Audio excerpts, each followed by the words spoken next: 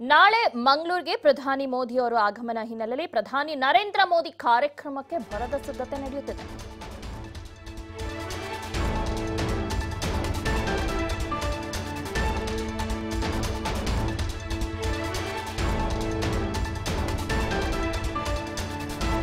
ನಾಳೆ ಮಂಗಳೂರಿಗೆ ಪ್ರಧಾನಿ ಮೋದಿ ಆಗಮನ ಹಿನ್ನೆಲೆ ಪ್ರಧಾನಿ ನರೇಂದ್ರ ಮೋದಿ ಕಾರ್ಯಕ್ರಮಕ್ಕೆ ಭರದ ಸಿದ್ಧತೆ ನಡೆಯುತ್ತಿದೆ. ಗೋಲ್ಡ್ ಫಿಂಚ್ ಸಿಟಿ ಮೈದಾನದಲ್ಲಿ ಭರ್ಜರಿ ತಯಾರಿ ನಡೆಸಿದೆ ಮೈದಾನದಲ್ಲಿ ಜರ್ಮನ್ ತಂತ್ರಜ್ಞಾನದ ಪೆಂಡಾಲ್ ಅನ್ನ ಕೂಡ ಅಳವಡಿಸಿದ್ದಾರೆ. ಇಪ್ಪತ್ತೈದು ಎಕರೆ ಪ್ರದೇಶದಲ್ಲಿ ಬೃಹತ್ ಪೆಂಡಾಲ್ ಅನ್ನ ಅಳವಡಿಸಿದ್ದಾರೆ.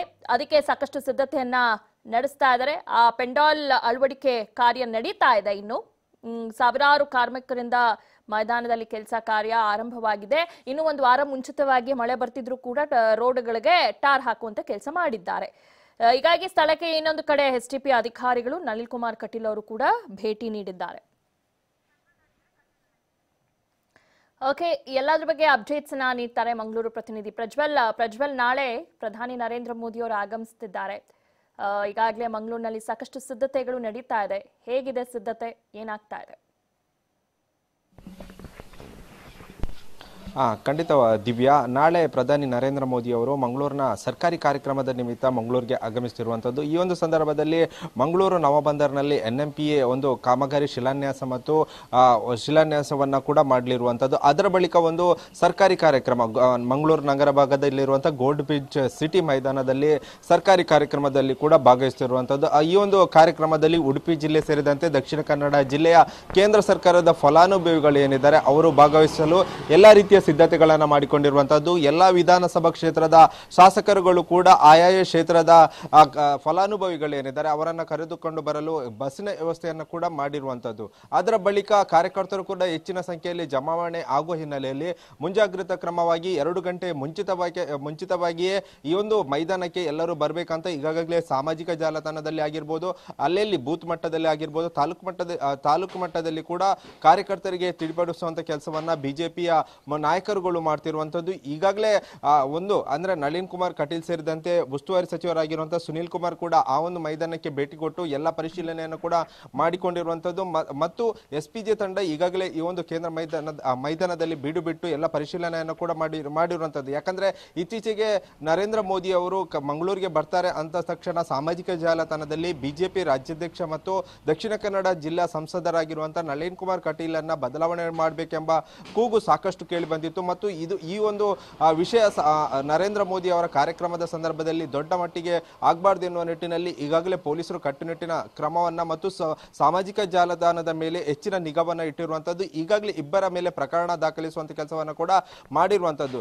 ಅದೇ ರೀತಿಯಾಗಿ ಎನ್ ಎಂ ಪಿ ಸೇರಿದಂತೆ, ಅಂದರೆ ಮಂಗಳೂರಿನಿಂದ ಏರ್ಪೋರ್ಟ್ನಿಂದ ಸೀದಾ ನವಮಂಗಳೂರು ಮೈದಾನಕ್ಕೆ ನವಮಂಗಳೂರು ಪೋರ್ಟ್ಗೆ ಬರುವಂಥ ಎಲ್ಲ ರಸ್ತೆಗಳಲ್ಲಿ ಕೂಡ ಹೆಚ್ಚಿನ ಭದ್ರತೆಯನ್ನು ವಹಿಸಿಕೊಂಡಿರುವಂಥದ್ದು. ಸದ್ಯ ಪೊಲೀಸರನ್ನು ಆಯಾಯ ಸ್ಥಳಕ್ಕೆ ಒಂದು ಕರ್ತವ್ಯಕ್ಕೆ ಹಾಜರುಪಡಿಸುವಂಥ ಕೆಲಸವನ್ನು ಕೂಡ ಈಗಾಗಲೇ ಮಾಡ್ತಿರುವಂತದ್ದು ಇನ್ನೇನು ಕೆಲವೇ ಕ್ಷಣಗಳಲ್ಲಿ ಎಲ್ಲರಿಗೂ ಪೊಲೀಸ್ ಎಲ್ಲ ಪೊಲೀಸರನ್ನ ರೂಟ್ ಅಂದ್ರೆ ರೂಟ್ ಅಂದರೆ ಉಡುಪಿಯಿಂದ ಬರುವಂತ ಮಂಗಳೂರು ಭಾಗಕ್ಕೆ ಬರುವಂತ ಬಸ್ಗಳಿಗೆ ಆಗಿರ್ಬೋದು, ವಾಹನಗಳಿಗೆ ಬದಲಿ ವ್ಯವಸ್ಥೆಯನ್ನು ಕಲ್ಪಿಸಿಕೊಟ್ಟಿರುವಂಥದ್ದು ಇದರ ಮಾಹಿತಿಯನ್ನು ಕೂಡ ಮಂಗಳೂರಿನ ಕಮಿಷನರ್ ಆಗಿರುವಂಥ ಎನ್ ಶಶಿಕುಮಾರ್ ಅವರು ಮಾಹಿತಿ ಕೊಡ್ತಿರುವಂತದ್ದು.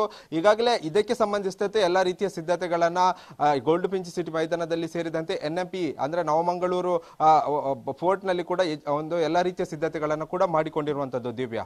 ಓಕೆ ಪ್ರಧಾನಿ ನರೇಂದ್ರ ಮೋದಿ ಅವರು ನಮ್ಮೂರಿಗೆ ಬರ್ತಾ ಇದ್ದಾರೆ ಅಂದ್ರೆ ಏನೋ ಒಂದು ರೀತಿ ಸಂಭ್ರಮ, ಖುಷಿ ಜನರಲ್ಲಿ. ಅದರ ಜೊತೆಗೆ ಒಂದಿಷ್ಟು ನಿರೀಕ್ಷೆಗಳು ಕೂಡ ಹೆಚ್ಚಾಗುತ್ತೆ. ಅದು ತಪ್ಪಲ್ಲ. ಈ ಬಾರಿ ಪ್ರಧಾನಿ ನರೇಂದ್ರ ಮೋದಿ ಅವರು ಬರ್ತಾ ಇದ್ದಾರೆ. ಪ್ರತಿ ಬಾರಿನೂ ಈ ಹಿಂದೆ ಕೂಡ ಬಂದಿದ್ರು. ಅದೇ ರೀತಿಯಾದ ನಿರೀಕ್ಷೆ ಇಟ್ಕೊಂಡಿದ್ರು. ಈಗ ಮಂಗಳೂರಿನ ಜನತೆ ಏನ್ ನಿರೀಕ್ಷೆಯನ್ನ ಇಟ್ಕೊಂಡಿದ್ದಾರೆ ಪ್ರಧಾನಿ ನರೇಂದ್ರ ಮೋದಿ ಅವರು ಅವ್ರ ಊರಿಗೆ ಬರ್ತಾ ಇರೋದ್ರಿಂದ? ಆ, ಖಂಡಿತವಾಗ್ಲೂ ಕಳೆದ ಬಾರಿ ಸಂದರ್ಭದಲ್ಲಿ ಕೂಡ ಈ ಒಂದು, ಅಂದ್ರೆ ಪ್ರಧಾನಿ ನರೇಂದ್ರ ಮೋದಿ ಬಂದ್ರೆ ಹೆಚ್ಚಿನ ಕಾರ್ಯಕರ್ತರು ಸೇರ್ತಾ ಇದ್ರು. ಆದ್ರೆ ಈ ಬಾರಿ ಒಂದು ಬಿಜೆಪಿ ರಾಜ್ಯಾಧ್ಯಕ್ಷರು ಅಂದ್ರೆ ನಳಿನ್ ಕುಮಾರ್ ಕಟೀಲ್ ವಿರುದ್ಧ ಒಂದು ವಿರೋಧ ಅಭಿಯಾನ ಕೂಡ ನಡೆದಿತ್ತು. ಇದರಿಂದ ಹಿನ್ನಡೆ ಆಗುವ ಸಾಧ್ಯತೆ ಇರುವ ಹಿನ್ನೆಲೆ- ಹಿನ್ನೆಲೆಯಲ್ಲಿ ಹೆಚ್ಚಿನ ಫಲ, ಫಲಾನುಭವಿಗಳು, ಅಂದ್ರೆ ಕೇಂದ್ರ ಸರ್ಕಾರದಿಂದ ಬರುವಂತ, ಆ, ಒಂದು ಅನುದಾನವನ್ನು ಪಡೆದುಕೊಂಡಿರುವಂತಹ ಫಲಾನುಭವಿಗಳು ಏನಿದ್ದಾರೆ ಅವರನ್ನೇ ಸೇರಿಸುವ ಉದ್ದೇಶದಿಂದ ಈ ಒಂದು ಕಾರ್ಯಕ್ರಮ ಮಾಡಿರುವಂತದ್ದು. ಆ ಹಿನ್ನೆಲೆಯಲ್ಲಿ ಜನರ ಯಾವ ಜ- ಪ್ರಧಾನಿ ನರೇಂದ್ರ ಮೋದಿ ಬಂದ ತಕ್ಷಣ ಸಾಕಷ್ಟು ನಿರೀಕ್ಷೆಗಳಿರುತ್ತೆ. ಆ ಪ್ರತಿ ಬಾರಿ ಕೂಡ ಇರುತ್ತೆ. ಈ ಬಾರಿ ಕೂಡ ಇರುವಂಥದ್ದು ಜನರು ಜನರಿಗೆ ಯಾವ ರೀತಿಯ ಗಿಫ್ಟ್ ಕೊಡ, ಅಂದ್ರೆ ಚುನಾವಣಾ ಹೊಸ್ತಿಲಲ್ಲಿ ಯಾವ ರೀತಿಯ ಗಿಫ್ಟ್ ಕೊಡ್ತಾರೆ ಎಂಬುದನ್ನು ಕೂಡ ಕಾದು ನೋಡಬೇಕಾಗಿರುವಂಥ ದಿವ್ಯ. ಓಕೆ ಇನ್ನು ಜನ ಕೆಲವರು ಆಕ್ರೋಶವನ್ನ ವ್ಯಕ್ತಪಡಿಸ್ತಾ ಇದ್ರು. ಅಂದ್ರೆ ಇಷ್ಟು ದಿನಗಳ ಕಾಲ ರಸ್ತೆಗಳಿಗೆ ಡಾಂಬರ್ ಇರಲಿಲ್ಲ ನಾವು ಅನೇಕ ಬಾರಿ ಮನವಿಯನ್ನ ಸಲ್ಲಿಸಿದ್ರಿ, ಅನೇಕ ಸಾವುಗಳು ಸಂಭವಿಸಿದ್ವು. ಈಗ ಪ್ರಧಾನಿ ನರೇಂದ್ರ ಮೋದಿ ಅವರು ಬರ್ತಾ ಇರೋದ್ರಿಂದ ತರಾತುರಿಯಲ್ಲಿ ಎಲ್ಲಾ ರೀತಿಯಾದಂತ ಮಳೆ ಬೀಳ್ತಿದ್ರು ಕೂಡ ಟಾರ್ ಹಾಕಿದ್ದಾರೆ. ಅಂದ್ರೆ ಇದು ಯಾವ ನ್ಯಾಯ ಅಂತ ಜನ ಆಕ್ರೋಶ ಭರಿತರಾಗಿದ್ದಾರೆ. ಇದ್ರ ಬಗ್ಗೆ ಹೇಳೋದಾದ್ರೆ. ಖಂಡಿತ. ದಿವ್ಯಾ ಈ ಒಂದು ವಿಚಾರದ ಬಗ್ಗೆಯೂ ಕೂಡ ಸಾಕಷ್ಟು ಜನ ಜನರಲ್ಲಿ ಕೂಡ ಆಕ್ರೋಶ ವ್ಯಕ್ತವಾಗಿ ವಾಗಿತ್ತು ಅಂತಲೇ ಹೇಳ್ಬೋದು. ಯಾಕಂದ್ರೆ ಮಂಗಳೂರು ನಗರ ಭಾಗದಲ್ಲಿ ಏರ್ಪೋರ್ಟ್ ರಸ್ತೆ ಆಗಿರ್ಬೋದು ಅದೇ ಅದೇ ರೀತಿಯಾಗಿ ಪಣಂಬೂರು ರಸ್ತೆ ಆಗಿರ್ಬೋದು ಸಂಪೂರ್ಣವಾಗಿ ಹದಗೆಟ್ಟಿತ್ತು. ಆದರೆ ನರೇಂದ್ರ ಮೋದಿ ಅವರು ಮಂಗಳೂರಿಗೆ ಬರ್ತಾರೆ ಎಂದ ತಕ್ಷಣ ಎಲ್ಲ ರಸ್ತೆಗಳಿಗೆ ಕೂಡ ಟಾರ್ ಹಾಕುವಂತ ಕೆಲಸವನ್ನ ಇಲ್ಲಿಯ ಜನಪ್ರತಿನಿಧಿಗಳು ಮಾಡಿದ್ರು. ಆ ಒಂದು ಸಂದರ್ಭದಲ್ಲಿ ಜನರು ಆಕ್ರೋಶವನ್ನ ಕೂಡ ವ್ಯಕ್ತಪಡಿಸಿದ್ರು. ಯಾಕಂದ್ರೆ ರಸ್ತೆ ಹದಗೆಟ್ಟಿದ್ರಿಂದ ಸಾಕಷ್ಟು ಸಾವು ನೋವುಗಳು ಮತ್ತು ಆ, ಸಾಕಷ್ಟು ಜನರ ಮೂಲೆ ಮೂಳೆ ಮುರಿತ ಆಗಿರುವಂತಹ ಘಟನೆ ಕೂಡ ನಡೆದಿತ್ತು. ಆದ್ರೆ ಪ್ರಧಾನಿ ಬಂದ ತಕ್ಷಣ ಈ ರೀತಿಯ ಡಾಮ ಟಾರ್ ಹಾಕುವಂತ ಕೆಲಸ ಮಾಡುವುದು ಎಷ್ಟರ ಮಟ್ಟಿಗೆ ಸರಿ ಎಂಬುದು ಕೂಡ ಜನರು ಪ್ರಶ್ನೆ ಮಾಡಿರುವಂತದ್ದು ದಿವ್ಯಾ. ಧನ್ಯವಾದಗಳು ತಮ್ಮ ಮಾಹಿತಿಗಾಗಿ.